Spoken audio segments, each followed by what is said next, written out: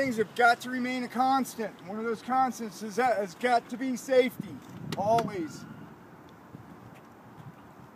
My name is Jimmy Hawkins. I'm the president of the National Association of Powered Skateboard Racing.